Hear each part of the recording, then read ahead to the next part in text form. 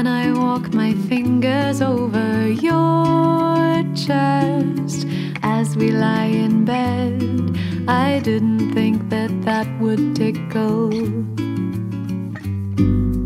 You say there's something you forgot to tell me that you think I'd like.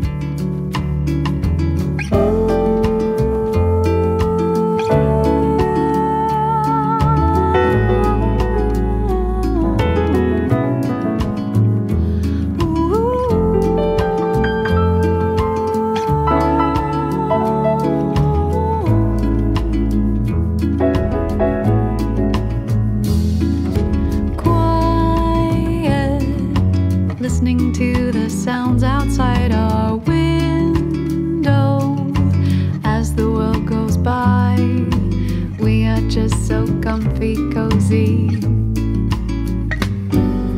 I move, stretching like a cat beneath the covers, only to fall back.